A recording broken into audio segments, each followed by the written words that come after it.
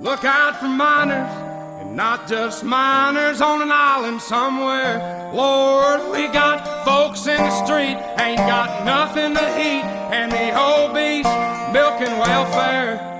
God, if you're five foot three and you're 300 pounds, taxes ought not to pay for your bags of fudge rounds. Young men are putting themselves six feet in the ground, cause all this damn country does is keep on kicking them down.